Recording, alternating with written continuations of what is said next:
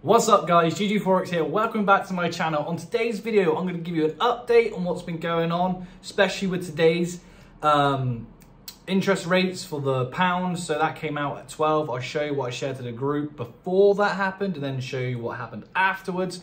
Plus, I want to talk about stop losses. Do you move them? I've done some testing. The results are in. I've done about 30 trades worth of testing. So yeah, I'm trying some new things out, seeing the results. And obviously, if I get some good feedback from it or feel like it can help someone, then I'll share that with you, which is what today's video is about. So stop losses, should you move them? Let's just jump into the charts and explain everything. Okay guys, so this is the test that I have done. Hopefully the sound quality of this video is better as well because obviously got a new Gucci headset. Anyway, so I've done a lot of trades. I was only going for a one to two because I wanted to test out lower time frames. I'm not really a lower time frame guy, and then I'll show you how I trail stops on a higher time frames, right? So for lower time frame people, by lower time frame I mean like 15 minute and lower. Okay, I wouldn't recommend. I wouldn't say that the one hour is um, a lower time frame. I say it's quite medium, quite intraday. Um, a really nice time frame actually to trade on. So if you guys are new, one hour time frame is a great place to go from for your entries. But anyway, these are only just one to two trades. I wanted to get in and out. I wanted to get as much data as I possibly could out of it. And then the trades I got break even on, I went back and if I remember to do it, but I wrote it down. If if I moved my stop loss, if I didn't move my stop loss, sorry, would the trade have won? Right? And I've moved the stop loss one, two, three, four, five, six, seven times. Four out of those seven times, the trade would have won without stopping me out of break even. Even or a small win. It basically is a break even trade. That's what I'm going to class it as. So four out of seven. So if I'm going for a one to two, right, the trade only saved me three times, so I, I would have lost three percent, right? If I didn't move my stop loss. However, because I won, I would have won four.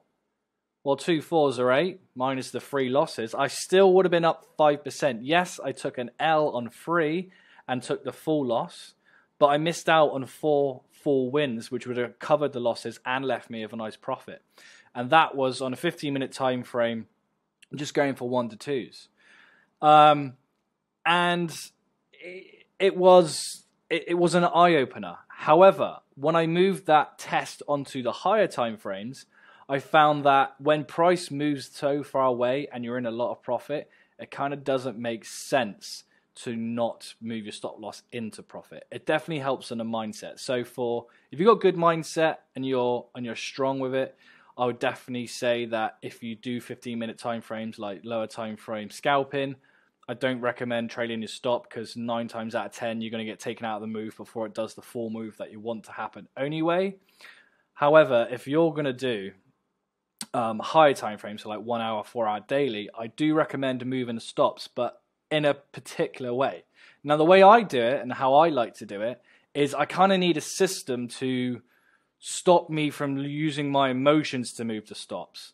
Like, obviously, if it's my emotion saying, oh, I want price to be here, maybe because it might be a monetary value or whatever. And I get it if you're in a challenge and you need to like get as much profit out the trade as you possibly can. It does make sense in a small amount of time as well. So you might as well take a small win rather than risking a, a 1% loss. So that makes sense. So I do get it in challenge situations, but just in trading in general, okay, I find that fractals stop me from overthinking where I'm putting my stop. So for me, I'm in CAD, uh, I'm in NZD CAD at the moment. I'm in this buy. My stop loss is below the fractal. Okay, so if price comes back and stops me out, then I don't mind. It stopped me out within profit. But I didn't like put it below this low and then risk taking me out. I with the fractals, I find you give uh, the price time to breathe, time to show what it actually wants to do. You don't get wicked out. You don't get taken out of trade just through your emotions. You're using a method, you're moving a system, using a strategy to stay in the trade. And if you find that putting it behind the fractal, not right next to or just above the previous high, there's no alert going off, just previous high, actually helps you out a lot more. Because if you have a look over here, you can see if you were to trail this sell down, right, above the fractal, you can see price came to it but never went above the high You see above the fractal here, see? You would have put your trailed your stop loss above there, depending on your spread. You might have been stayed in, you might have gone out. Then you would have put it above the fractal here and then you would have been taken out. Okay, so it's not perfect, but it's a system that I use in place to let the price breathe. If I just put it against this low, I would have been taken out by now. And then if I saw that happen and then price come up to hit my TP, I'll be really frustrated and start kicking myself. Anyway, guys, let me know what you think in the comment box below, and let's get back to the other half of this video. Okay guys, so I hope that sort of answered or maybe if you had that question, how should I move my stop losses? Lower time frames, don't move them. Doesn't pay. Yes, you lose and you have to take that hit. But overall, with my seven trades that I did where I did move my uh, stop loss, I actually lost out on 5%. So it's something to think about. And obviously, if you're going for a high reward to risk, this could be a lot greater as well. That was just risking one to two trades. But let's get into what I'm seeing now on the charts, what setups we're seeing, what we could potentially see, and what I have pending. So guys, this is the GG Forex group. I put this post in this morning at 11 a.m. and what I was sharing with the group was, this is what I want to see this afternoon on Pound Chef. But I have to wait and see what the market gives us, right? I shared this with the group as what I wanted price action to be, right? And this is clicking it to zoom in. It happened at 11 o'clock in the morning. And what I wanted to happen was price liquidate the highs, push down, break the lows, flag back up, mitigate, and then come down. But what we got was exactly that. However, price hasn't flagged back up yet. We're still waiting for that to happen because the sell-off was so strong with the pound's exchange rate, or not exchange rates, the interest rates. Um, price moved quite a bit, and we need to wait and be patient for price to come back to our points of interest. Right. So let's just go onto the charts. As you can see, the markup happened. Right. It's now three o'clock in the afternoon. The news came out at twelve o'clock this afternoon. So I did that prediction an hour before the news, and look what happened. Price came up, took people out who were selling it, pushed price down, took people out who wanted to buy it off the trend line. Price came down and has now made beautiful targets. I want these targets to be in place.